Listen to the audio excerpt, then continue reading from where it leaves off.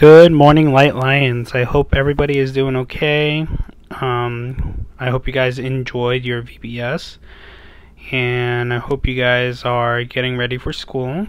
I know things are still kind of crazy right now, but let's just be, you know, adaptable and just be willing to work with our teachers, alright?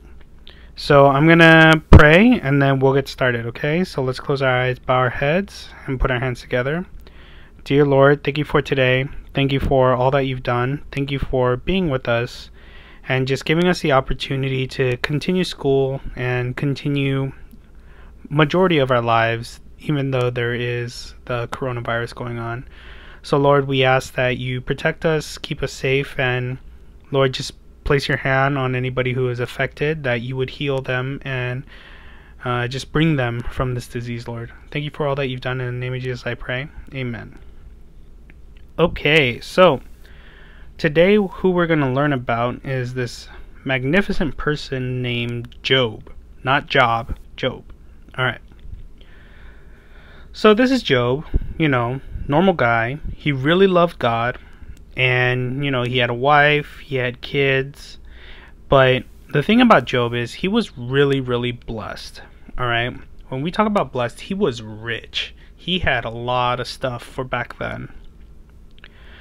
So Job you know his family he had 10 children. He had 7000 sheep 3000 camels 500 ox 500 donkeys right? And back then he was like the richest guy around now, one day, the devil came up to the Lord, right? And he goes, "Oh, God, I I don't think you have anybody on earth who truly loves you, right?" And God looked at the devil and he said, "What are you talking about? There's definitely at least somebody who is, you know, truly loving of me. They truly want to be my servant." And the devil said, "No, I don't think so." So the so God, he goes, "Okay, well then take a look at Job." And the devil says, "All right, let's make a bet. I bet you I can make Job curse you uh, just by doing things to you, to him, right?" And the Lord said, "You know what? You can do anything you want to Job as long as you don't kill him." So the devil said, "All right, that's what I'm going to do." So, what the devil did was he killed all of Job's animals all the sheep, all the camels, all the oxes, all the uh, donkeys, right? And then another thing he did was he killed Job's children. Okay? The devil sent a tornado and he just swept them all up and everybody was dead, right? So the only people that were left is Job and his wife. Okay? So Job and his wife, you know, they're you know mourning, meaning they're sad because they just lost their family, they just lost all of their property, they lost their home, right? And the wife was talking to Job, right? Almost like Ajima status, right? and she was basically saying, Job, you see, this this is what happens when you aren't a true servant of God. Now, mind you, Job, he never missed an offering to God. Every time there was an offering that he needed to make, he would always make sure he made it. And he would always have people over at his house because, you know, he wanted to share his wealth with other people. But Job, he knew that he hadn't done anything. Yet his wife was like, Oh, you've done this, this, and this. And he told her, No, I haven't. What are you talking about? And she said, You know what? You need to, like, repent and you need to turn away from whatever you're doing. But he was like, I, I don't know what you're talking about. And he said, God is testing me. Don't you understand that? Of course, she didn't really understand, right? Because nobody really knows what the devil is capable of. So, while they were, you know, elsewhere, uh, Job had three of his friends find him. And those three friends came up and, you know, they wanted to comfort Job because he just lost his family, all of his wealth, things like that. So that's what they did, but for seven days and seven nights they sat with Job, right? Now, before all that, they found Job like this. It was to he was so beat up and mangled, right? That they didn't even recognize him. He actually had to say, "Hey, my friends, it's me. Like, what are you doing here?" And they said, "Oh my gosh, it's it's Job." And so for 7 days they sat with him, but you know, you would think that for 7 days they would be like, "Oh, Job, everything's going to be okay. We're going to help you," things like that. That's not what happened. For 7 days in a row, all three of his friends basically were telling Job, "Hey, you did something wrong. You're not repenting and that's why God is punishing you. Like what they said was, look at you, you're diseased, you've lost everything, you have no family, you have no property. God is punishing you because you created or you did a major sin.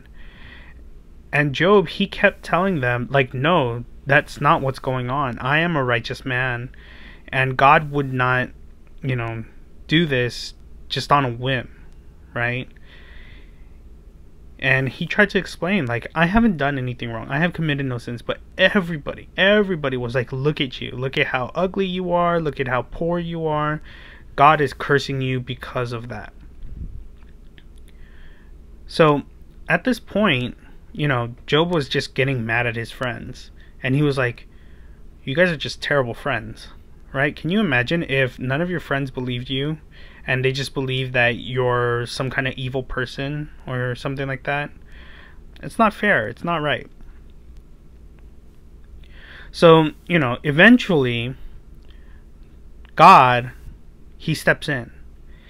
And, you know, he speaks to Job and he's like, you know, Job, like, I get that you were sad and that you were down. And you may have thought that I left you, but I didn't the reason why you had all these things happen to you is because, you know, I let it happen. I didn't want it to happen to you, but it needed to happen. And Job understood, right? Job realized that God is capable of all things. He even said to God, like, you are the one who created the world. You're the one who created the universe. You're the one who gave me my life, and you're the one who blessed me with all the things that I had. And he said, Lord, I'm sorry if I ever doubted you or if I ever misspoke about you. And God said, you know, he accepted Job's apology. But God was also very angry at Job's three friends. Because Job's three friends kept saying, Oh, God is punishing you, and, you know, he doesn't love you, things like that. And God said to, to all three of them, like, why would you speak lies about me? I love all my children. I love Job more than you will ever know. And so he forced all three of Job's friends to not only apologize to Job, but also apologize to God by making an offering. But he also said, I'm going to make it so that if Job prays for you, for your forgiveness, I will forgive you. And the reason why he said that was because he was really pleased with Job and the work that he did. Okay. So, after all this had happened, God was like, you know what? I'm going to give unto you double of everything. Right? So when Job had overcome all this and he spoke with God, God blessed him with another family, and he had 20 children rather than 10. He had 14,000 sheep rather than 7,000. He had 6,000 camels rather than 3,000. Um, he had a thousand versus you know a thousand ox versus 500 ox, and a thousand donkeys versus 500 donkeys. So Why is the story of Job very important? The reason is Job was not being punished. He was being tested. A lot of times we think bad things happen to us because God doesn't love us. That's not true. God always loves us. But a lot of the things that happen to us is because God is saying, you need to go through a test or a trial. And he puts us through those trials not to punish us, but because he wants us to learn from them. and to really just rely on God. If Job hadn't trusted in God, yes, his suffering would have ended, but at the same time, God would have walked away from Job. And that would have been a terrible thing. But because Job was so adamant about, you know, loving God and just remembering that everything that he had was because of God, God was very pleased with him. And he tested him in the hardest way possible, and Job passed. So we just got to remember that not all bad things happen because of the fact that God punishes us, but sometimes it's because we just need to learn something that God can only teach us by giving us a very, very hard lesson. Okay? All right, so that's it for today. Thank you guys for listening. Uh, just be safe out there and make sure that you guys are constantly washing your hands, okay? All right, so I'm going to close this out in prayer. So let's close our eyes, bow our heads, and put our hands together.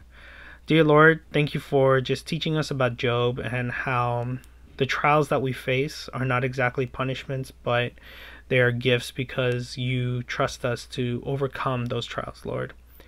I know that we are not the greatest servants, we are not the most loyal children, and we're not the most loving people, Lord, but I ask that you give us the heart to change and the ability to understand where your heart comes from, Lord, and to just trust in you uh, without a doubt, Lord.